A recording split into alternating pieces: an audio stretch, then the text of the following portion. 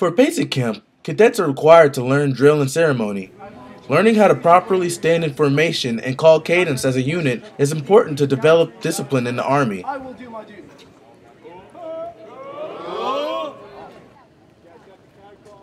The cadets are taught how to march, stand, and turn, and taught where to be. This is Krusty Krab! No, this is Patrick! One thing that helps is that they create a platoon model.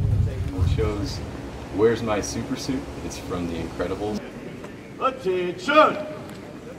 Where's my super suit? But the reason we do that is to kind of boost morale.